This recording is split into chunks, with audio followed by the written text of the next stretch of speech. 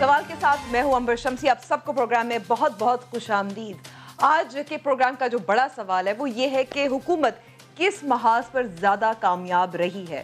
Opposition کے خلاف، خارجہ محاذ یا معاشی طور پر زیادہ کامیاب رہی ہے۔ ہمارے ساتھ اپنے پینلسٹ کا میں متعارف کراتی ہوں۔ ہمارے ساتھ چودھری منظور صاحب ہے پاکستان پیپلز پارٹی کے سینئر رہنما۔ سینیٹر ڈاکٹر مصدق ملک صاحب، پاکستان مسلم نواز کے رہنما، ارشاد بھٹی صاحب، تجزیہ کار اور اندلیب عباس صاحبہ جو پاکستان تحریک انصاف کی پارلیمانی سیکرٹری ہیں برائے خارجہ امور۔ آپ سب کا بہت بہت شکریہ وقت دینے کا۔ شروع تو ہم کرتے ہیں اپوزیشن کے مہا سے۔ ارشاد بھٹی صاحب، سوال یہ پیدا ہوتا ہے کہ آج جو رانا ثناء اللہ صاحب کے خلاف جو کیس ہے جج نے کہا کہ انہیں واٹس ایپ پر بتایا گیا کہ ان کی تبدیلی ہو رہی ہے لاہور ہائی کورٹ واپس بھیجا جا رہا ہے۔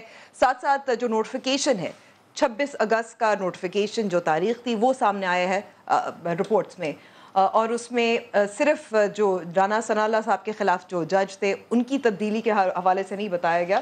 اس نوٹیفیکیشن میں باقی جو کیس ایک سن رہی ہے مریم نواز صاحبہ کے خلاف جو حمزہ شہباز کے خلاف ان کا نوٹ وہ جج بھی تبدیل ہوئے ہیں۔ اچھا اب وزیر اعظم عمران خان جب آپ اپوزیشن میں تھے، وہ امپائر کے حوالے سے کچھ کہتے تھے، آپ کو سنواتی ہوں۔ پچیس سال میں جمخانہ میں کرکٹ کھیلا، ایک ہی بیٹسمین تھا۔ جب تک اس کا اپنا امپائر کھڑا نہیں ہوتا تھا بیٹنگ کرنے نہیں آتا تھا۔ اس کا کیا نام تھا؟ میاں محمد نواز شریف۔ میاں صاحب کی وکٹ اڑ جاتی ہے۔ امپائر کہتا ہے نو بال۔ اب بھی یہی ہو رہا ہے۔ نون لیگ کا اور نواز شریف کا مسئلہ یہ ہے کہ پہلی دفعہ ان کو جسٹس کیوں نہیں ملا سپریم کورٹ میں جس کو یہ ٹیلی فون کر کے بتا دیں کہ کون سا فیصلہ کرنا ہے۔ کیونکہ عدالت آزاد ہے اور نیوٹرل ہے کیونکہ فوج نیوٹرل ہے ان کو عادت نہیں ہے نیوٹرل امپائرز کی۔ انہوں نے ہمیشہ میچ کھیلا ہے اپنے امپائرز ملا کے۔ جو بھی جمخانہ میں اندروں میں کرکٹ کھیلتا تھا یہ اپنا امپائر کھڑے کر کے باری لیتا تھا۔ آؤٹ ہو جاتا تھا، امپائر نو بال کہہ دیتا تھا۔ چار پانچ باریاں لے کے پچاس ساٹھ رن کر کے اور وہ اچھا بولر بھی رام رام سے گیند پھینکتے تھے۔ ان ان دنوں میں یہ فائنانس منسٹر بن چکا تھا۔ وہ آہستہ آہستہ گیند پھینکتے تھے، اپنا امپائر کھڑا ہوتا تھا، وہ آؤٹ نہیں دیتا تھا۔ پھر اخبار میں آ جاتا تھا جی نواز شریف نے۔ ارشاد بھٹی صاحب، آپ کیا سمجھتے ہیں کہ کیا عمران خان صاحب، شریف برادران کے نقش قدم پر چل رہے ہیں یا ججز ججز تبدیل ہوتے ہیں، کوئی مسئلہ نہیں ہے، اختیار ہے حکومت کو؟ نہیں دیکھیے اس کیس آپ اس کیس کی بات کریں جی، گے ایک ایک سال کی بات کریں۔ نہیں نہیں رانا ثناء اللہ۔ ہاں رانا ثناء اللہ کے اور ابھی یہ بھی ساتھ سنا گیا کہ مریم نواز کا وہ جو جج ہے وہ بھی جج نہیں مرشد۔ ہاں، ہم حمزہ شہباز کا بھی جج یعنی ججز تین ججز تبدیل ہوئے۔ ہیں اب جو بیادی طور پہ اس کی جو ابھی دو طرح کی آئی ہیں میں میں تو ابھی اس میں ہوں کہ کل تک ہمارے یہاں خوبصورتی یہ ہے کہ کوئی چیز چھپی نہیں رہے گی۔ آپ ایک دن دو دن تین دن صبر کریں گے ساری چیزیں بات چیزیں بات اور دوسری خوبصورتی یہ ہے کہ کوئی بھی ایمانداری سے کچھ بھی کر لیں نیک نیتی سے کر لیں آپ بالکل فوکسڈ ہو کے کر لیں۔ اس میں سے بھی بات نکلے گی۔ اس میں سے بھی کوئی نہ کوئی نکال لیں گے۔ اس میں سے دونوں دھڑے وہ اس کو اپنی طرح کر لیں گے۔ ابھی اس طرح یعنی مجھے سمجھ نہیں آئی کہ یہ کیوں تبدیل ہوئے۔ یہ اس کے ابھی تو دونوں کی ابتدا ہے کیسوں کی ابھی تو شروع ہے شروعات ہے کیسوں کی۔ کوئی یہ مجھے نہیں لگا کہ یعنی کیا کہ وہ ایک ایک ایک کسی جج ہوتا ہے نا دس پندرہ پیشیوں کے بعد اس کا مائنڈ پڑا جاتا ہے کہ یہ تو رانا صاحب کی طرف جا رہا ہے۔ یہ تو حمزہ صاحب کو فیور کر رہے ہیں۔ یہ تو مریم صاحب کی ابھی تو ابھی مریم نواز صاحب کی فیور کر رہا ہے ابھی تو شروع ہے۔ ابھی تو شروعات ہے۔ یہ شروعات میں کیوں ہوا؟ اس کے دو تین پہلو۔ ایک پہلو یہ بھی ہے کہ کیا کوئی بہتر جج لانے چاہتے تھے جو حکومت کے حق میں فیصلہ کریں اس کا ایک یہ بھی پہلو ہو سکتا ہے کہ یہ روٹین کی ہو اور انہوں نے کر دیا۔ اس کا ایک یہ بھی پہلو ہو سکتا ہے کہ یہ کہ یعنی لاہور ہائی کورٹ کی اور یہ سارا کچھ جو روٹین کی تبدیلیاں اس میں ہوں اور اس میں ظاہر ہے اب یہ ایک دو دن ویٹ کر لیں اس میں پتہ چل جائے گا لیکن ہر اب یہ چونکہ ہم پہنچے ہوئے اس سطح پہ ہیں جوڈیشری کی ہسٹری ہے ہمارے ہاں اور جسٹس قیوم صاحب سے لے کر جج ارشد ملک تک ایک ہسٹری ہے اور ایک پولرائزیشن بہت زیادہ ہو گئی ہے۔ سازشیں بہت زیادہ ہم ایک ایک نظر آ رہی ہیں اور بہت زیادہ چیزیں ہمیں آمنے چیزیں اور چونکہ ساروں کی سروائیول جب یہ سوالات اٹھتے ہیں شکوک و شبات ہوتے ہیں تو پھر جو پاکستان مسلم ایک نواز کا ایک بیانیہ ہے اس کو پھر اس, اس, اس موقف کی تائید ہوتی ہے۔ کس موقف کی؟ موقف یہ ہے کہ جج جو ہیں وہ انفلوئنس ہو جاتے ہیں۔ نہیں نہیں، جج میرا نہیں خیال کہ یعنی لوور جوڈیشی پہ تو ہمیشہ سے ہوتا رہا ہے اب اب اس میں، اللہ کے فضل سے ساروں کا کردار رہا ہے اپنا اپنا۔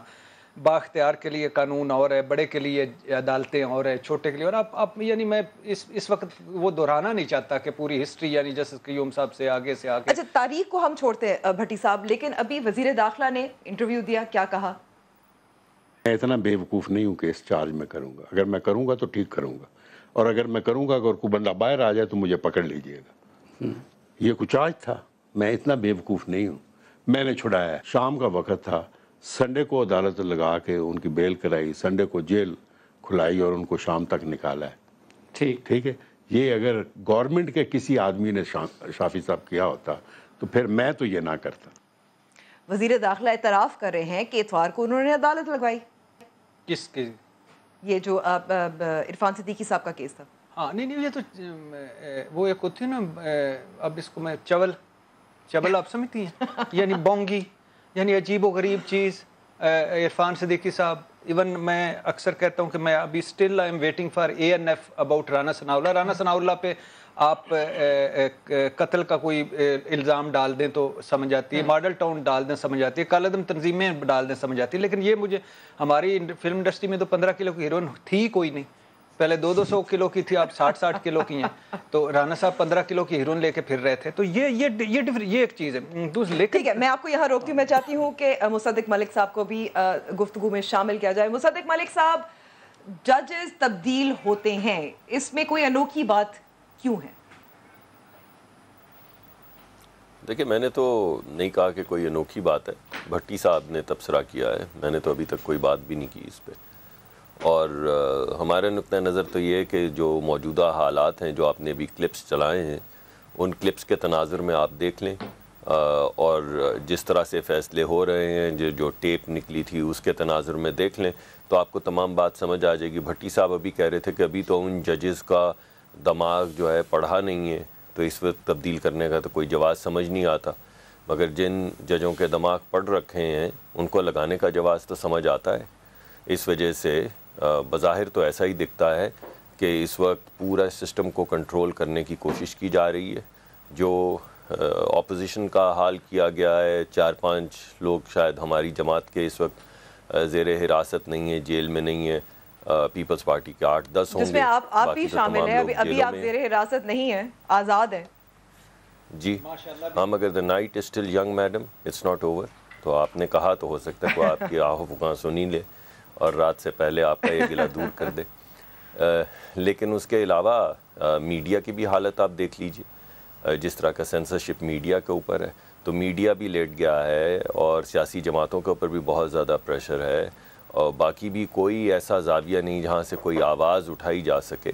تو ایسے حالات میں تو آپ کو بظاہر بظاہر کم از کم ایسا ہی دکھتا ہے کہ کوئی شاید یہ جو ججز لگے ہوئے تھے کیونکہ ان کا جیسے بھٹی صاحب کہہ رہے ہیں ان کا بھی مائنڈ پڑھا نہیں تھا تو کسی پڑھے پڑھائی کو لگا دیں تاکہ معاملات اچھی طرح سے سیٹل ہو جائیں۔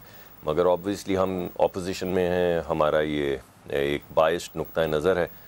ذرا تھوڑی سی تفصیلات سامنے آئیں گی کہ کیوں ہٹایا گیا ہے صرف انہی مقدمات میں کیوں ہٹایا تو آپ بھی انتظار کریں تفصیلات سامنے آئیں۔ حالانکہ آج ایسے اقبال صاحب مریم اورنگزیب صاحبہ نے ایک پریس کانفرنس بھی کی تھی اسی کو بنیاد بنا کر جی وہ تو میں نے وہ تو آپ کو پہلے کہہ دیا۔ ہمارا جو ایک نقطۂ نظر ہے، سیاسی نقطۂ نظر ہے، جس طرح کی وکٹمائزیشن ہو رہی ہے احتساب کی آڑ میں جیسے انتقام لیے جا رہے ہیں ای او بی آئی کا مقدمہ پڑا ہے، اس پہ کوئی پیش رفت نہیں ہوئی۔ این آئی سی ایل کا مقدمہ پڑا ہے، اس پہ کوئی پیش رفت نہیں ہوئی۔ جو مالن جبا کا مقدمہ ہے، اس میں کوئی پیش رفت نہیں ہوئی۔ بی آر ٹی کا ایک مقدمہ ہے، اس میں کوئی پیش رفت نہیں ہوئی۔ اسی طرح خیبر پختونخوا میں جو جنرل صاحب لگائے تھے وزیر اعظم نے اپنے احتساب کمیشن کے، انہوں نے چھ وزراء کا ذکر کیا تھا کہ کڑیاں ہتھ کڑی کی شکل میں ان تک پہنچتی ہیں، ان کا کوئی ذکر نہیں۔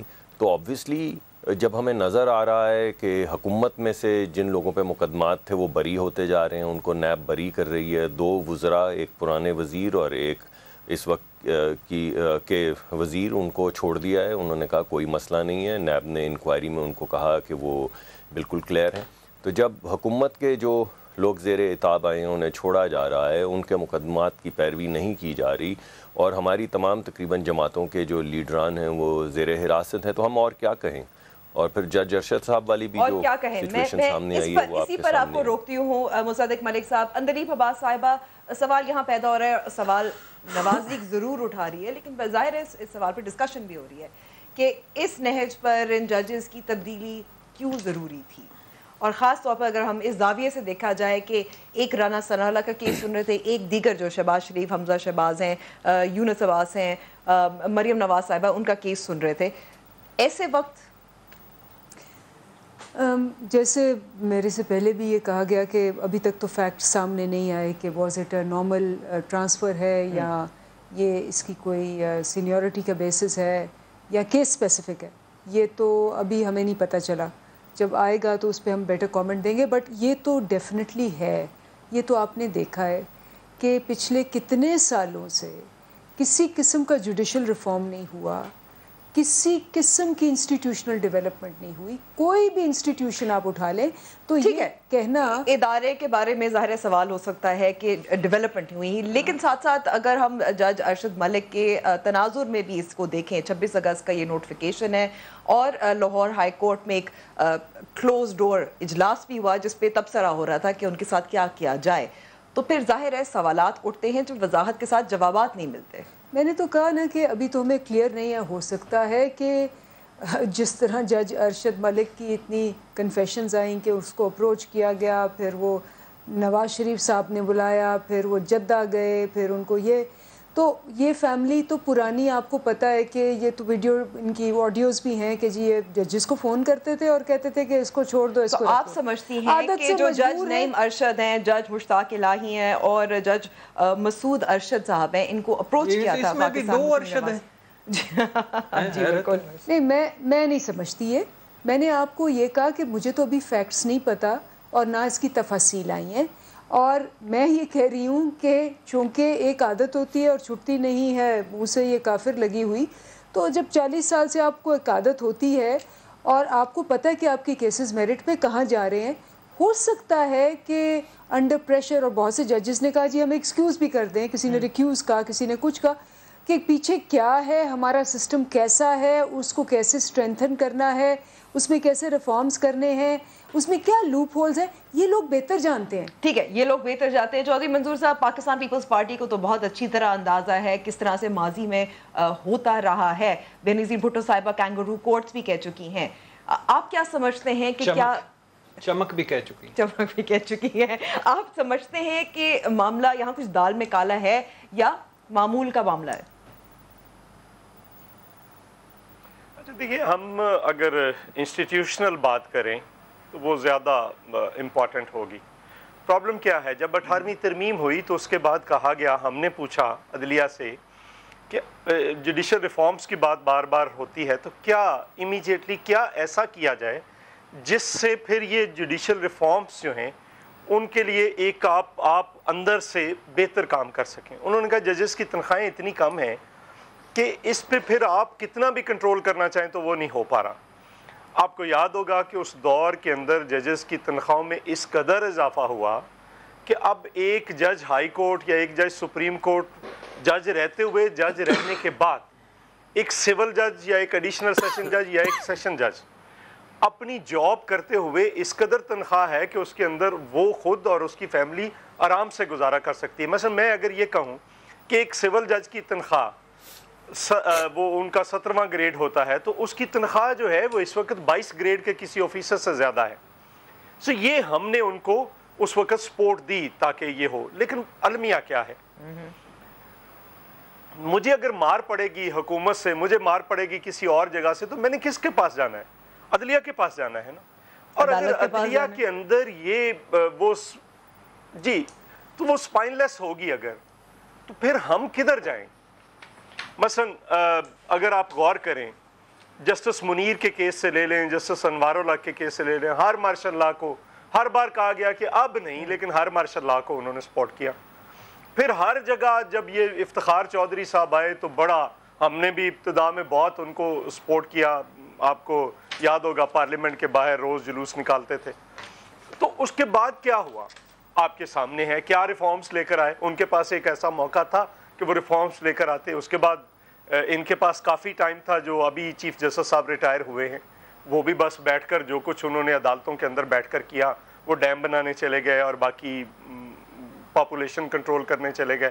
لیکن جو ان کے کام کرنے والا تھا وہ نہیں کیا۔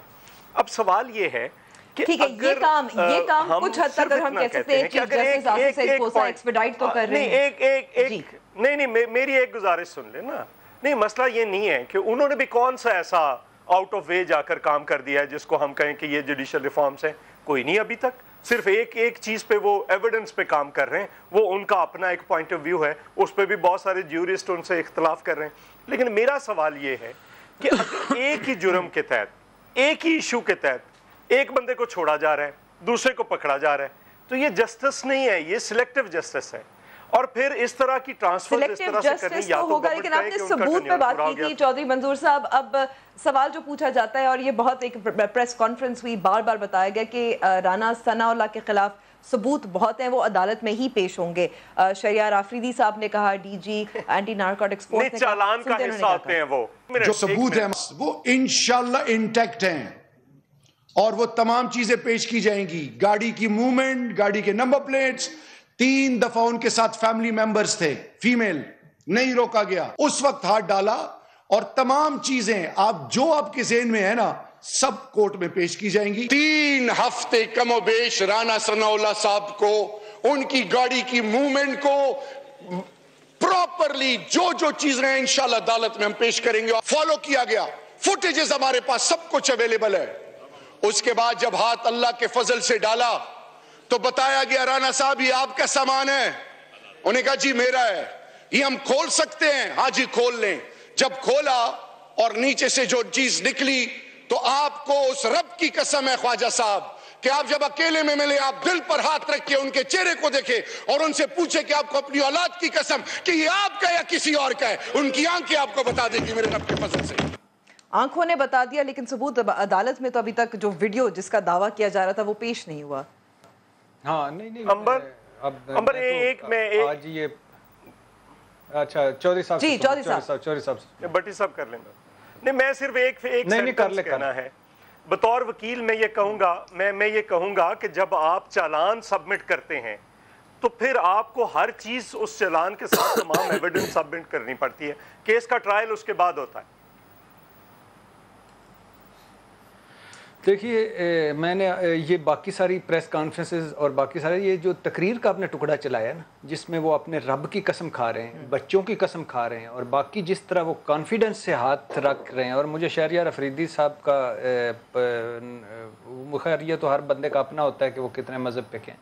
میں آئی آئی ول بی سرپرائزڈ یعنی میرا میرا دل ادھر دوسری طرف نہیں مانتا کہ وہ اس طرح ایک اپوزیشن کا بندہ اس طرح لے کے جس کے بارے میں پتہ ہو کہ کیسز یہ وہ سارا فوکسڈ ہے اتنا آؤٹ آؤٹ اسپوکن آدمی ہیروئن لے کے جا رہا ہو اور اپنی گاڑی میں رکھ کے جا رہا ہوں لیکن دوسری طرف یہ میں آج پہلی دفعہ سن رہا ہوں آئی ایم سرپرائزڈ اور میں اسٹل آئی ایم ویٹ آپ کو کہا نا کہ آئی ایم ویٹنگ کہ اس پہ میں بہت آسانی سے کوئی سویپنگ اسٹیٹمنٹ دے سکتا ہوں ہاں۔ کہ وہ بہت بڑا مجرم ہے وہ اس کے پاس ہوگی۔ نہیں نہیں وہ بڑا معصوم ہے نہیں ہوگی۔ But I am waiting for اس کے این ایف جب چلان پیش کرتے ہیں اور ثبوت دیتے ہیں۔ اور یہی تو ہے کہ ثبوت اس وقت تو پیش نہیں ہوئے۔ اندلیب عباس صاحبہ نے مصدق ملک صاحب یہ کہا تھا کہ یہ میرٹ پہ کیس تو سنے جا رہے ہیں۔ آپ سمجھتے ہیں کہ میرٹ ہے؟ آپ مجھ سے پوچھ رہی ہیں اندلیس عباس صاحبہ سے؟ جی مصدق ملک صاحب۔ جی دیکھیں ہمارا تو آپ کو میں نے پہلے بائسڈ ویو دے دیا ہے اور میں نے آپ کو کہا ہے ایویڈنس کے ساتھ بھی کہا ہے کہ ہمارا تو یہ خیال ہے کہ اس وقت احتساب اور یہ تمام جو کاروائیاں ہو رہی ہیں ان کی آڑ میں انتقام لیا جا رہا ہے اور سیاسی جماعتوں سے لیا جا رہا ہے اور چیدہ چیدہ سیاسی جماعتوں کے جو لیڈران ہیں ان سے لیا جا رہا ہے۔ اور باقی میں نے آپ کو اور بھی مقدمات آپ کے سامنے پیش کیے جن پہ کوئی پیش رفت نہیں ہو رہی۔ یعنی کہ یہ کہہ سکتے ہیں مصدق ملک صاحب یہ ضرور ہم کہہ سکتے ہیں کہ اگر کسی محاذ پر حکومت کامیاب رہی ہے تو وہ اپوزیشن کے خلاف ہے۔ مان لیں گے۔ جی میں جی میں میں بالکل مان لوں گا اور یہ بھی مانوں گا کہ صرف اپوزیشن کے خلاف نہیں میڈیا کے خلاف بھی بڑی اللہ نے ان کو کامیابی دی ہے۔ تو اللہ نے ان کو اپوزیشن کے خلاف کامیابی دی ہے اور اللہ نے ان کو میڈیا کے خلاف کامیابی دی ہے۔ اور اب خارجہ پالیسی کو پر بھی اللہ ان کو بہت کامیابیاں دے رہا ہے۔ تو میں یہ سمجھتا ہوں کہ اس وقت آپ اقتصادی پالیسی اٹھا لیں، اس میں کامیابی ہے۔ آپ خارجہ پالیسی اٹھا لیں، اس میں کامیابی ہے۔ ابھی آپ نے آج سنا ہی ہوگا کہ جو ہمارا فسکل ڈیفیسٹ ہے، وہ تمام بھینسیں اور گاڑیاں بیچنے کے باوجود اور پرائم منسٹر اور صدور صدر کے جو دفتر ہیں، ان کے بجٹ کاٹنے کے باوجود آٹھ اشاریہ نو فیصد پہ ہو آ گیا ہے ہمارا فسکل ڈیفیسٹ جو پچھلے چالیس پینتالیس سال میں کبھی نہیں ہوا۔ تو یہ کیسے ہو رہا ہے؟ اقتصادی محاذ پہ بھی وہی ہو رہا ہے جو خارجہ محاذ پہ ہو رہا ہے جو میڈیا کے ساتھ ہو رہا ہے جو اپوزیشن کے ساتھ ہو رہا ہے۔ تو میں سمجھتا ہوں حکومت بڑی یکسوئی کے ساتھ اپنا کام کر رہی ہے۔ اس سے پہلے آپ نے مقدمات کے حوالے سے دیکھا۔ بہت یہاں کو روکتی ہوں۔ اندلیب عباس صاحبہ جی۔ ایک کبھی اس وقت جو جو بجٹ خسارہ ہے اس کے حوالے سے بات کی مصدق مرک صاحب سے اور بہت پریشان کو ناداد و شمار فائنانس منسٹری نے کل ہی ریلیز کی تھی اور میں بہت پریشان ہوئی تھی کیونکہ میں سمجھتی تھی جب دیکھا تھا کہ کرنٹ اکاؤنٹ ڈیفیسٹ جو ہے وہ بہتر ہو گیا یعنی کہ جو آپ کی تجارتی خسارہ ہے وہ تو بہتر ہو گیا ہے۔ لیکن یہ جو فسکل ڈیفیسٹ ہے، یہ تاریخی بلندیاں اس کو کہا جا رہا ہے۔ آپ اگر اس کو کہہ سکتے ہیں آٹھ سال میں سب سے زیادہ ہے، کچھ لوگ کہہ رہے ہیں کہ اگر ٹرمز میں دیکھا جائے تو چالیس سال میں سب سے زیادہ ہے۔ تو یہ جو آسٹیریٹی میجرز تھے، یہ جو ٹیکس کلیکشن کی کوشش تھی، کہاں ناکامی ہوئی؟ دیکھیں آپ نے باقی اسٹیٹمنٹ بھی دیکھی ہوگی کہ چالیس فیصد ڈیٹ سروسنگ زیادہ ہوئی ہے۔ اتنا قرضہ تھا اور اگر ہم نہ کرتے اس سال اور اس پہ آپ دیکھیں تین ہزار اس کے ساتھ ساتھ اب اب دیکھیں قرضہ اس لیے بھی زیادہ ہو گیا نا کہ آپ نے ڈی ویلیویشن بھی کی اس کے بعد انٹرسٹ ریٹ بھی بڑھائے۔ مجھے انٹرسٹ ریٹس کچھ کچھ کہیں مجھے بات بتائے آپ کے پاس الٹرنیٹو کیا ہے کہ آپ جو آپ کی بینکرپسی ڈیٹ ہے اس کو نہ دیں اور آپ کہیں جی ہم نے نہیں دینا اور دیوالیہ کر لیں اگر ریکارڈ ڈیٹ تھا تو اس کا ریکارڈ پرنسپل ہم نے دیا ہے۔ ریکارڈ پرنسپل دینے کے لیے بالکل ڈی ویلویشن بھی ہوئی ہے اور اس پہ انٹرسٹ ریٹ کا بھی امپیکٹ ہے۔ اگر آپ یہ سارے امپیکٹس لیں لیں تو کیوں ہمیں دینا پڑا؟ لیکن اس میں سے ہم نے تو کوئی ایک پیسہ بھی ہم نے جو ابھی سیٹل کیا ہے ڈیٹ وہ تو پچھلے پانچ سال کا ڈیٹ سیٹ اندلی بابا صاحبہ جس طرح سے مہم چل رہی تھی ٹیکس کلیکشن کی اور ہمیں امید تھی کیونکہ وزیر اعظم عمران خان ایماندار ہیں اور سب مانتے ہیں کہ وہ ایماندار ہیں کہ ٹیکس تو کم سے کم اس میں تو اضافہ ہوگا ٹیکس کلیکشن بہتر ہوگی یہ بھی تو آپ مینشن کر دیں چلیں آپ کو اچھا نہیں لگے گا کہ ایک سال کے اندر وہ ون پوائنٹ سیون سے two point five million tax payers ہو گئے ہیں۔ ہوئے ہیں کہ نہیں ہوئے؟ پھر اس کا فائدہ بھی تو نظر آنا چاہیے نا۔ اس کا فائدہ اگلے سال نظر آئے گا نا جب وہ اپنے ساری ٹیکسز ان کی کلیکٹ ہوں گی۔ کبھی ریکارڈ ہے ریکارڈ ہے کہ کبھی اتنا ٹیکس نیٹ میں ٹیکس پیئر نہیں آیا اور ابھی شروع ہوئی ہے مہم۔ ٹھیک ہے۔ مہم شروع ہوئی ہے۔ بھٹی صاحب۔ دیکھیے ہم جیسے کرتارپور سے وائٹ ہاؤس تک تعریفیں کرتے نہیں تھکتے فارن پالیسی کی۔ جیسے ان پاپولر فیصلے لینے کی عمران خان کی نہیں ڈاکومنٹیشن فلانا ٹیکس نیٹ میں لانا یہ کرنا۔ جیسے ویسے بہت ساری چیزیں ہیں جو جس میں وہ ناکام رہے۔ یا ان اس کو اگر اس طرح آسان لفظوں میں کہیں تو جو ان کے دعوے وعدے نعرے تھے یا وہ سچے نہیں تھے یا ان کو پتا تھا کہ وہ یہ چلتا ہے اس ملک میں سارے ہی ایسے کرتے ہیں تو میں بھی ایسے ہی کروں۔ یا پھر اب آ کے وہ ناکام ہوئے۔ کیا تو آپ کیا کہتے ہیں؟ ان میں سے کون سا ہے؟ ایکچول مہنگائی ہے ہاں۔ وہ انیس فیصد بڑی ہے جو میرے تک پہنچ تو ابھی تک تو دس فیصد کہا جا رہا تھا۔ نہیں نہیں یہ سینسٹیو یہ بیورو آف اسٹیٹس وہ کیا اس کا لفظ ہوتا ہے؟ اسٹیٹسٹکس ہاں۔ وہ اس federal bureau of point five trillion قرضہ ہے بہت تیز ہے۔ سیون پوائنٹ فائیو ٹریلین یعنی ساڑھے سات ہزار ارب۔ اچھا سوا تین ہزار ارب مطلب ایٹ پوائنٹ نائن بجٹ کا خسارہ ہے۔ یہ بھی بلند ترین ہے۔ اسٹیٹ بینک منافع زیرو پہ آیا ہوا ہے۔ کیوں؟ کیونکہ کرنسی ڈی ویلیو ہوئی ان کی لائبلٹیز بڑی۔ اسٹیٹ بینک وہ کرتا ہوتا تھا ساڑھے تین سو ارب سے زیادہ پرافٹ کماتا تھا وہ نیچے چلا گیا۔ اچھا انویسٹمنٹ میں سات فارن انویسٹمنٹ میں ساٹھ فیصد کمی آئی۔ اس ایک سال کے بعد۔ ترقیاتی منصوبے۔ یہ اور زیادہ بری ہو چکی لیکن ترقیاتی منصوبے آپ نے پچیس فیصد کم کی ہے ترقیاتی بجٹ کہہ لیں ترقیاتی منصوبے تو وہ پیسہ ڈالا۔ ٹیکس وصولیوں میں ناکامی انڈاؤٹیبلی دس لاکھ ٹیکس فائلرز آئے ہیں اس کا آگے جا کے ملے گا لیکن اس وقت تک جو ٹیکس ادا لیکن ٹیکس فائلر تو وہی ہوتے ہیں نا جو پہلے سے ٹیکس دے رہے ہوتے ہیں یہ نئے ہیں۔ یہ نئے ہیں دس لاکھ۔ دے رہے ہوتے ہیں نہیں یہ دس یہ انہوں نے جو نئے جو نئے انٹر ہوئے ہیں یہ ہیں اس میں ماننا پڑے گا ٹیکس وصولی میں ابھی تک اداف میں ناکامی ہے۔ بیرونی قرضہ گیارہ ارب ڈالر لیا جو بہت زیادہ ہے جس میں کچھ بینک میں پڑا کچھ لیا۔ اور اس کے علاوہ انڈسٹری نیگیٹو زراعت نیگیٹو چالیس سال میں، دو ہزار گیارہ میں زراعت نیگیٹو ہے جو سیلاب آئے تھے۔ شرح سود یعنی ایک فیصد بڑھے تو ایک سو ستر ارب کا نقصان ہوتا ہے بجٹ پر۔ تو شرح سود میکسیمم دس پہ ہونی چاہیے۔ ان کی ساڑھے تیرہ پہ پہنچی ہوئی ہے۔ اب صورتحال یہ ہے کہ اگر خرچہ ہے سمپل اکیس روپے یعنی سوری آمدن ہے بارہ تیرہ روپے، تو خرچہ اکیس روپے ہے۔ یہ حکومت کا چل رہا ہے اس وقت۔ انڈاؤٹبلی سوا ستیہ ناز قسم کا ملک میں ملا تھا انڈاؤٹبلی حالات ان کی توقع سے خراب تھے لیکن کچھ چیزیں ماننی پڑیں گی کہ آپ کی پراپر تیاری نہیں تھی right people for right job نہیں ہو سکا اور آپ نے کنفیژن اور نالائکی اور نائلی کے کافی تڑکے لائے ہیں مختلف چیزوں کو جس کی وجہ سے ہم یہاں پہنچے ہیں پریشانی کی تو بات ہے چودھری صاحب میں یہاں آپ سے پوچھنا چاہوں گی اگر یہاں ہے کہ اب ہم اگلے سال کی بھی فکر کر رہے ہیں تو یہ تو آپ لوگوں نے جو قرضے لیے ہیں اس کی وجہ سے ہے اچھا دیکھیں یہ اب ریٹرک میرا خیال اب ختم ہو جانی چاہیے کہ فلاں کے خرابی کی وجہ سے ہم ذمہ دار ہیں۔ اس سے پہلے بھی حکومتیں جب ہم آئے تھے، تب ہم نے ڈبل سہا تھا۔ ایک مشرف کے دور میں آپ سب کو یاد ہوگا کہ اس وقت ری شیڈیولنگ ہوئی تھی، شوکت عزیز صاحب نے کروائی تھی۔ جو ان کے دور میں قرضے تھے، انہوں نے نہیں دیے تھے، وہ آگے گئے تھے، وہ بھی ہم نے پے کیے تھے۔ تو پھر یہ ہر حکومت دیتی ہے۔ لیکن جو چھ ہزار ارب پانچ سال میں قرضہ لے اس پہ کمیشن بننا چاہیے۔ ابھی جو لیٹسٹ فگر آئی ہے وہ دس ہزار ارب کی ہے پچہتر سو یا چھہتر سو ارب کی نہیں ہے۔ تو دس ہزار ارب جی ایک سال میں دس ہزار ارب کا جو قرضہ لیا گیا ہے اس پہ کوئی کمیشن نہیں بننا چاہیے اس پہ کوئی بات نہیں ہونی چاہیے۔ اسی طرح سے سٹاک مارکیٹ تاریخ کا سب سے پیچھے آئیے بٹی صاحب نے ساری فگرز دے دی ہیں۔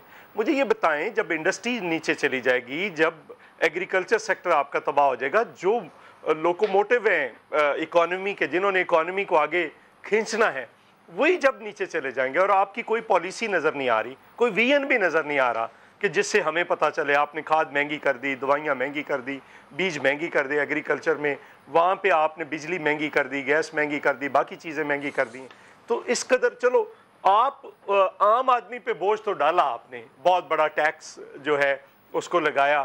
لیکن چلو عام آدمی کو اگر آپ بوجھ ڈال رہے ہیں تو کسی کو تو فائدہ ہو۔ چلو اکانومی میں ہی بہتری آ جائے۔ اس پہ ہم کہیں، اس میں بھی کوئی بہتری نہیں آ رہی، بلکہ وہ بھی واپس جا رہی ہے۔ تو یہ ساری، اس کو یہ یو ٹرن نہیں کہنا چاہیے۔ اصل میں انہوں نے جھوٹے وعدے کیے تھے اور ایک ایک بالکل غلط باتیں کی تھی، دعوے کیے ہوئے تھے۔ جو بالکل ریت کی دیوار کی طرح ثابت ہوئے۔ ایک سال کے اندر ایسے کولیپس ہوئے۔ اب یہ کہیں، ان کو چاہیے کہ یہ کہیں کہ ہم نے غلط پرسیو کیا تھا یا غلط سوچا تھا یا غلط کہا تھا اب ہم جھوٹ نہیں بول رہے یہ ایکچول سچویشن ہے۔ تو اس کو ہم ایسے آگے لے کر جائیں گے چونکہ ان کا ذاتی مسئلہ نہیں ہے ملک کا مسئلہ ہے۔ خارجہ پالیسی پہ بات یہاں میں روکتی ہوں کیونکہ یہ اہم نکتہ ہے۔ اندلیپ عباس صاحبہ ظاہر ہے جو اپوزیشن ہے وہ تو کہے گی آپ غلطی کا اعتراف کریں وغیرہ وغیرہ۔ لیکن آپ کیا سمجھتی ہیں کہ اب حکومت کو ایک سال ہو گیا ہے معیشت کا جو حال ہے وہ نظر آ رہا ہے۔ کیا واقعی غلط فہمیاں تھیں؟ جھوٹ تھا کیا تھا؟ دیکھیں دو وجوہات ہیں۔ ایک تو یہ کہ فگر فجنگ بہت ہوئی تھی کیونکہ ہم جو اسٹیٹ بینک کی رپورٹس ہیں اسی کو دیکھتے تھے اندر کھاتے تو ہمیں نہیں پتا تھا۔ فار ایگزامپل میں آپ کو بڑی اچھی ایک چیز بتاتی ہوں کہ آپ نے کہا جی five point two growth rate ہے اور آپ نے اپنے بل ہی نہیں پے کیے ہوئے۔ سو بلین انہوں نے ایکسپورٹر کے ریفنڈس پے کرنے تھے وہ بھی آپ نے بجائے ایکسپینس کے آپ نے اس میں ڈال لیا۔ اس کے بعد آپ کو پتہ میڈیا کی پیمنٹس نہیں ہوئی ہوئی تھی۔ آپ کو اربوں روپے کی اب ہم نے آ کے پے کیے جو پرائم منسٹر ہاؤس کے بجلی کے خرچے تھے وہ بھی نہیں پے ہوئے تھے۔ دس کروڑ روپے کا بجلی کا خرچہ تھا۔ وہ ہم وہ ہم نے آ کے پے کیا تو اب جب آپ ہاں، اندر چیزیں اخراجات میں جو اضافہ ہوا ہے یہ ان ادائیگیوں کی وجہ سے؟ جی ابھی یہ ڈیٹ سروسنگ جو ہم نے سود واپس کرنا ہے ابھی پرنسپل نہیں یہ صرف سود واپس ہو رہا ہے جس کو ڈیٹ ٹریپ کہتے ہیں۔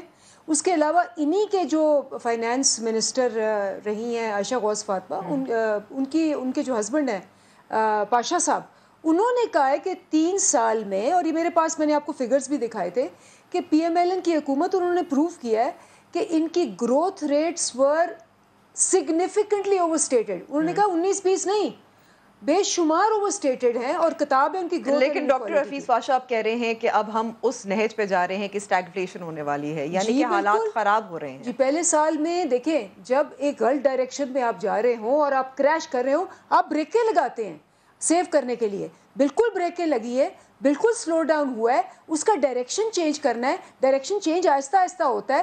دو ہزار اکیس میں ہم نے آپ کو روڈ میپ بتا دیا تھا۔ دو ہزار اکیس میں آپ کو ٹیکس کلیکشن بھی ہائر نظر آئے گی۔ ڈیفیسٹ سال نظر۔ آئیں گی۔ بالکل ایکسپورٹس اوپر نظر آئیں گی۔ میں بھی آؤں آپ بھی آئیں آپ پانچ سال بعد ان کو جج کریں ہمیں بھی جج کریں۔ ٹھیک ہے یہاں لیتے ہیں ناظرین بریک لیکن سوال وہی ہے کامیابی کہاں رہی ہے زیادہ پاکستان تحریک انصاف کی؟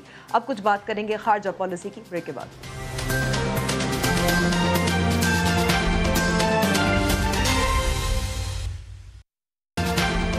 پروگرام میں ایک بار پھر خوش آمدید مصدق ملک صاحب۔ بریک سے پہلے اندلیب عباس صاحبہ کہہ رہی تھی کہ دو سال تو لگیں گے یہ جو ڈائریکشن جو ہے جو تعین کیا انہوں نے اسم کا تعین کیا ہے، وہ پھر اس کے پھل ہمیں ملیں گے۔ آپ کیا سمجھتے ہیں؟ وہ ڈائریکشن اس کا سیٹ ہو گیا ہے؟ دیکھیے، میرا یہ ذاتی خیال ہے کہ ڈائریکشن سیٹ ہو گیا ہے، مگر ڈائریکشن غلط سیٹ ہو گیا ہے۔ میرا یہ خیال ہے کہ یہ ڈائریکشن حکومت پاکستان کی نہیں ہے، یہ ڈائریکشن کسی غریب آدمی کے حق میں نہیں ہے، یہ ڈائریکشن ایسٹ انڈیا کمپنی کی ہے جو آئی ایم ایف کے ایما پہ پاکستان کی اقتصادیت کو چلا رہی ہے، پاکستان کی معیشت کو چلا رہی ہے، پاکستان کے بجٹ کو چلا رہی ہے۔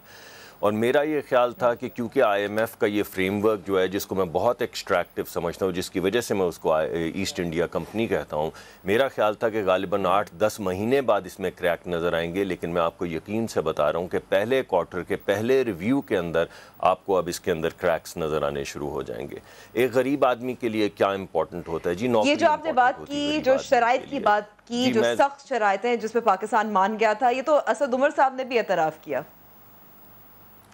جی اسد، عمر صاحب، دیکھیے نا، آپ نے آخری دن میں سیکرٹری فائنانس کو کمرے سے نکال دیا۔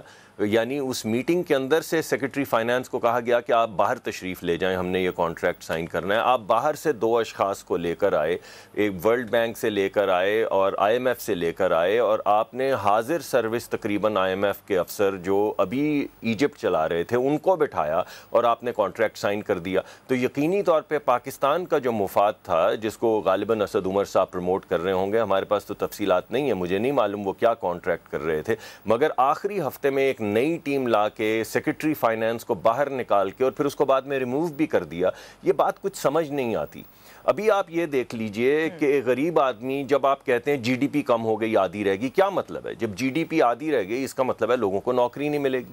جب افراد زر یا مہنگائی کی شرح لیکن یہاں صرف دس عباس صاحبہ نہیں کہہ رہی صاحب ڈاکٹر حفیظ ہیں پاشا کا بھی کہنا ہے۔ کہ وہ انفلیٹڈ تھا جو بہت سارا جو جو ادائیگیاں تھیں وہ دی نہیں تھیں وہ دینی پڑی ہیں حکومت کو ادائیگیوں کی بات ادائیگیوں کی بات کر لیتے ہیں جیسے آپ سوال پوچھتی جائیں گی انہوں نے جی تین بلین ڈالر کا ڈیٹ جو ہے وہ ریٹائر کیا ہے ہمارے پانچ سال کے اندر ہم نے گیارہ ہزار ارب کا قرضہ لیا تھا، ٹین پوائنٹ سیون بلین کا قرضہ لیا تھا پانچ سال میں۔ ابھی جو آپ نے نے اعداد و شمار دیے ہیں، اس میں سات ہزار چھ سو ارب کا قرضہ یہ لے چکے ہیں ایک سال میں۔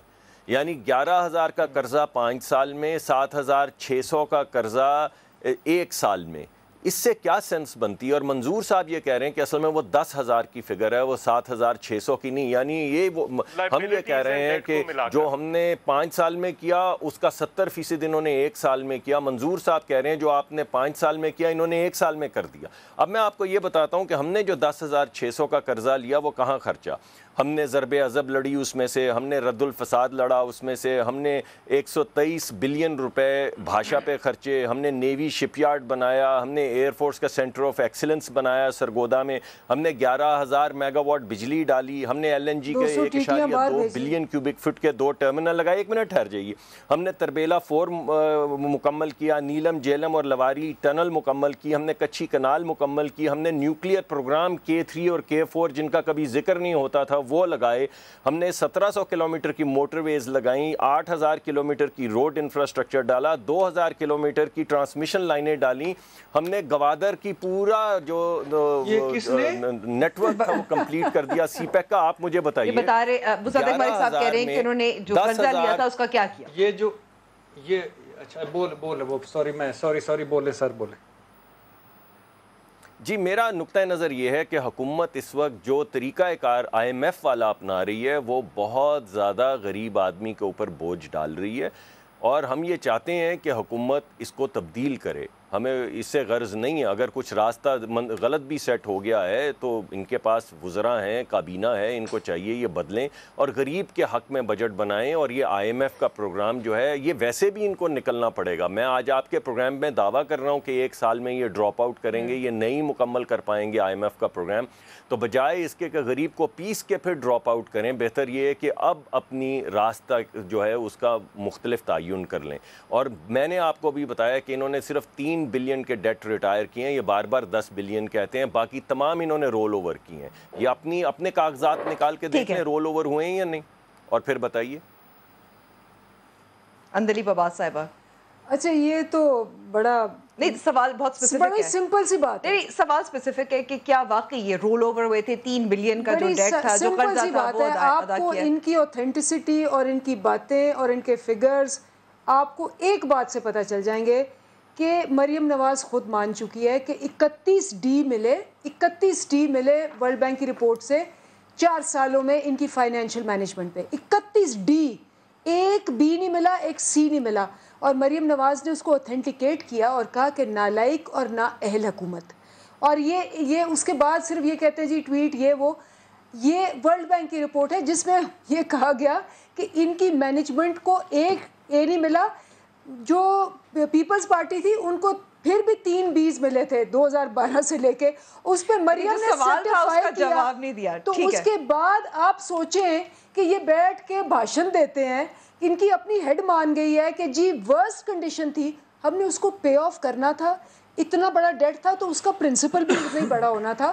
پے آف کرنا تھا ان کے ان کے قرضے۔ لیکن باقی تین بلین ہوئے نا مصدق ملک صاحب کا کہنا ہے کہ تین بلین ہے باقی رول اوور ہوا ہے۔ تو پھر وہ قرضے تو نہیں ادا ہو رہے نا؟ یہ سارے فگرز موجود ہیں۔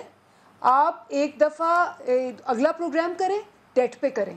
اور میں فگر سارے لے آؤں گی۔ قرضے پہ ہم اگلی بار کریں گے۔ اب میں کچھ آگے بڑھنا چاہتی ہوں۔ ہم کچھ بات کرتے ہیں کشمیر کے معاملے پر۔ وزیر اعظم عمران خان نے جمعے کے روز ایک احتجاج کا طریقہ جو تجویز کیا تھا، وہ ذرا سن لیتے ہیں۔ پھر اس پہ بات کرتے ہیں کہ ایک اور کامیابی ہم سمے کے خارجہ محاذ پر مل سکتی ہے نہیں۔ سنتے ہیں وزیر اعظم صاحب نے کیا کہا تھا۔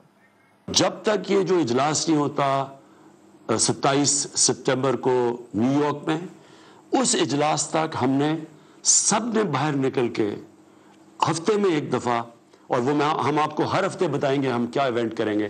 اس ہفتے کو جمعے کو بارہ سے ساڑھے بارہ بجے تک ساری قوم نکلے گی اور انشاءاللہ اس کے بعد ہفتے کو بتائیں گے کہ اگلا ایونٹ کیا کریں گے۔ ہم نے جو یونائٹڈ نیشنز کا ستائیس کو اجلاس ہے، اس تک ہم نے دنیا کو بتانا ہے اور کشمیر کے لوگوں کو بتانا ہے۔ بھٹی صاحب اقوام متحدہ کی جنرل اسمبلی کی جو میٹنگ ہوگی اس اس اس دن تک، ستائیس ستمبر کو ہے۔ پھر ہم ہر روز، ہر جمعے کو ایک مظاہرہ کریں گے، دنیا کو بتائیں گے۔ آپ کیا سمجھتے ہیں؟ یہ ایک کامیاب اسٹریٹجی ہے۔ نہیں آپ کر کیا سکتے ہیں؟ آپ کی حیثیت کیا ہے؟ آپ کی اوقات کیا ہے؟ آپ کی سے کیا ہے دنیا میں؟ آپ کے بھوکے ننگے، قرضوں میں جکڑے ہوئے۔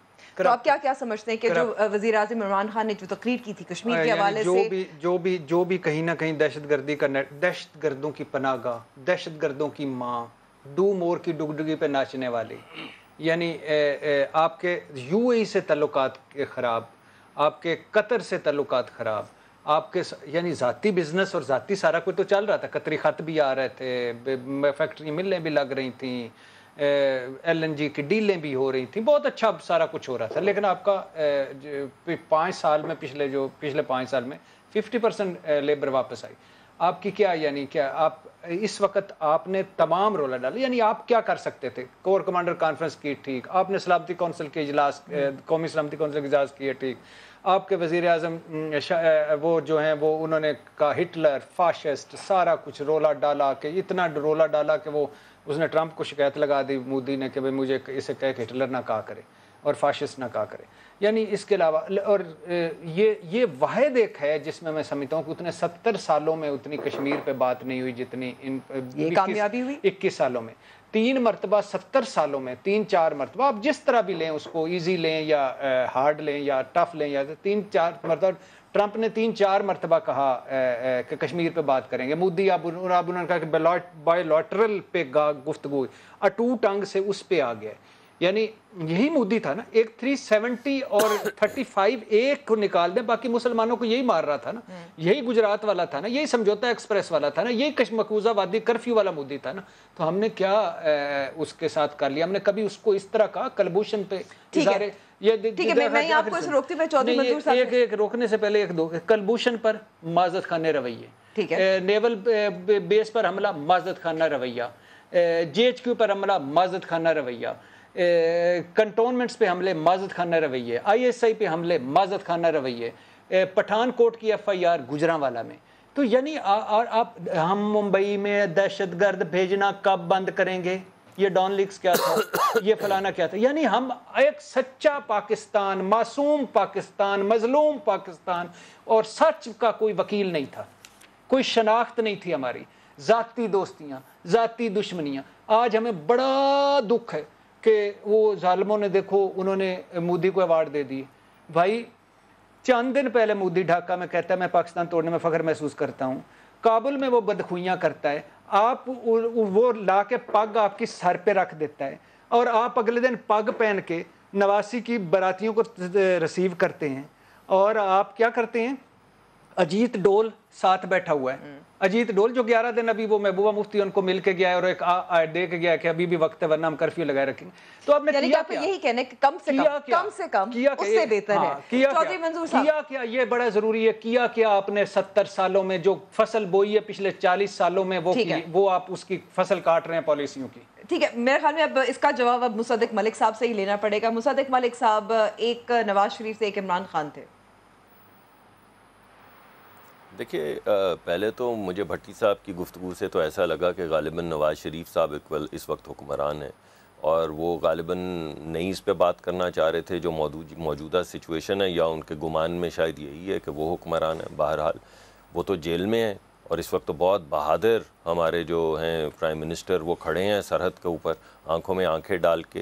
اور آپ کو یاد ہوگا کہ بھی وہ جب گئے تھے امریکہ کے وزٹ پہ، میں ایسی بات نہیں کرنا چاہتا تھا، مگر بھٹی صاحب نے اب شروع کی تو تھوڑی سی مجھے باتیں آپ کو یاد کروانی پڑیں گی۔ ابھی میں ان کلپس کی بات نہیں کروں گا جو اداروں کے متعلق عمران خان صاحب نے صاحب اقتدار ہونے سے پہلے آپ کے پاس بھی موجود ہیں اور آپ کبھی بھی چلا سکتی ہیں کہ وہ کیا کہتے تھے اپنے اداروں کے متعلق۔ ابھی انہوں نے یونائٹڈ سٹیٹس میں کھڑے ہو کے کہا کہ انیس سو اسی میں ہمارے اداروں نے یہ دہشت گرد تنظیمیں بنائیں اور اب ہم نہیں بنائیں گے۔ تو یہ کیا تھا؟ ڈان لیکس پہ تو آپ نے بڑا گلہ کیا، تو بھائی یہ کیا تھا؟ لیکن چلیں، چھوڑ دیں ان باتوں کو۔ اصل معاملہ جو ہے وہ کشمیر کا ہے۔ دیکھیے، یہ مناسب نہیں ہے اس وقت اس طرح کے حوالے دینا۔ اس وقت ہمیں کشمیر پہ بات کرنی چاہیے۔ اور میرے لیے بھی مناسب نہیں ہے کہ میں یہ حوالہ دوں۔ میں نے خامخائی دے دیا۔ لیکن میرا یہ ذاتی خیال ہے کہ اگر ہم نے صرف کشمیر پہ بات کرنی ہے آپریشن کے حوالے سے تو پھر جو ہم اس وقت کر رہے ہیں وہ ٹھیک ہے۔ ہمیں لیٹرز بھی لکھنے چاہیے، ہمیں ریزولوشنز بھی پاس کرنی چاہیے، ہمیں جمعے کے دن باہر کھڑا بھی ہونا چاہیے، ہمیں فون کالز بھی کرنا چاہیے، ہمیں تمام چیزیں کرنی چاہیے اور ایک انٹرنیشنلائزیشن اس کی ہونی چاہیے اور جو انٹرنیشنلائزیشن ہوئی ہے، میں سمجھتا ہوں وہ اچھی انٹرنیشنلائزیشن ہوئی ہے۔ اور یہ بھٹی صاحب کی بات ٹھیک ہے کہ بہت زیادہ کشمیر کا ذکر جو ہے وہ منظر عام پر آیا ہے اور یہ ایک اچھی چیز ہے۔ لیکن اگر آپ واقعی ایک غیرت مند قوم ہے اگر آپ کو واقعی پاس ہے ان تمام سپاہیوں کا جنہوں نے ماؤں نے، جنہوں نے اپنے بچوں کی شہادتیں اور لاشیں اٹھائی ہیں کشمیر کے باڈر کے اوپر۔ اگر آپ کو واقعی پاس ہے ان خواتین کا جن کی تصاویر آپ کے سامنے آ رہی ہیں، جنہیں ریپ کیا جا رہا ہے اور فوجیوں کے ہاتھ ان کے گربانوں کے اوپر اس وقت آپ کو نظر آتے ہیں، تصاویر میں آپ کو نظر آ رہے ہیں۔ اور اگر آپ واقعی کشمیر کو ایک ٹیریٹوریل ڈسپیوٹ سمجھتے ہیں، اگر آپ انسانی حقوق کے حوالے سے اس کو دیکھنا چاہتے ہیں، اگر آپ ٹیریٹوریل ڈسپیوٹ کے حوالے سے اس کو دیکھنا چاہتے ہیں، تو آپ مجھے بتائیے کہ کون سی دنیا میں چیکو سلوواکیا کے علاوہ آج تک ٹیریٹوریل ڈسپیوٹس جو ہیں وہ خط یا ریزولوشنز لکھنے سے پاس آئے ہیں؟ تو ہم یہ سمجھتے ہیں، کل جنرل اعجاز ایوان کے ساتھ میں ایک پروگرام میں تھا اور انہوں نے بڑی بہادری کی بات کی اور انہوں نے کہا کہ ہمیں ڈٹ کے کھڑا ہو جانا چاہیے۔ اگر انہوں نے دو لاکھ فوجی وہاں پہ کشمیر میں موو کیے ہیں، تو ہمیں بھی اپنی فورسز موو کرنی چاہیے تاکہ ان کو یہ پتہ ہو ہندوستان کو کہ اگر وہ میلی آنکھ سے کسی عورت کی عزت کی طرف دیکھیں گے اس وقت، کیونکہ وہ لاچار ہیں اور کمزور ہیں اور وہاں پہ کرفیو ہے، تو کانسیکوینسز ہوں گے۔ اس کے کانسیکوینسز ہوں گے۔ تو میں یہ سمجھتا ہوں کہ اس وقت پاکستان کی حکومت کو جو ہماری فوج کہہ رہی ہے، وہ کہہ رہی ہے ہم کسی حد تک جانے کے لیے تیار ہیں۔ اور وزیر اعظم نے ہم سے فلور پہ پوچھا کہ کیا میں جنگ کر لوں؟ کمال ہو گئی ہے۔ ہم سے پہلے کبھی آپ نے پوچھا ہے جب آپ نے وہ راہداریاں میں یہاں کو روکتی ہوں۔ میں یہاں سے روکتی ہوں مصدق ملک صاحب کیونکہ آپ نے ایک جنگ کی بات کی۔ اب وزیر ریلوے شیخ رشید صاحب میں ان کا ایک کیا آخری کہنا تھا؟ بات کر جنگ دوں کے ایک حوالے آخری سے بات۔ میں کس ایک کیا تھا؟ جی۔ کے میک اور بریک کا وقت آ چکا ہے۔ پاکستان عمران خان کی تقریر جو ہے ستائیس یا چھبیس سپٹمبر کو وہ بڑی اہمیت کی حامل ہوگی۔ لیکن اقوام متحدہ نے آج تک مسئلوں کو حل نہیں کیا ہے۔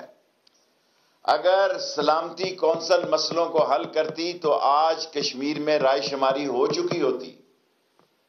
ہمیں سلامتی کونسل اور امریکہ سے بہت ساری توقعات نہیں رکھنی۔ میں اکتوبر کے آخر اور نومبر دسمبر میں پاکستان، ہندوستان میں جنگ ہوتی ہوئی دیکھ رہا ہوں۔ چودھری صاحب، آپ کو بھی جنگ نظر آ رہی ہے مستقبل میں؟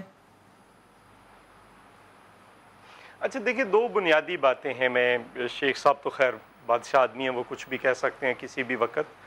لیکن بنیادی بات یہ ہے کہ اگر یہ یہ یہ ہم دے رہے ہیں کہ اس وقت ہماری یہ حالت ہے، تو انیس سو اکہتر کی جنگ کے بعد بھی ہماری اس سے کوئی بہتر حالت تو نہیں تھی۔ ہمارے پاس تو تنخواہیں دینے کے لیے پیسے نہیں تھے۔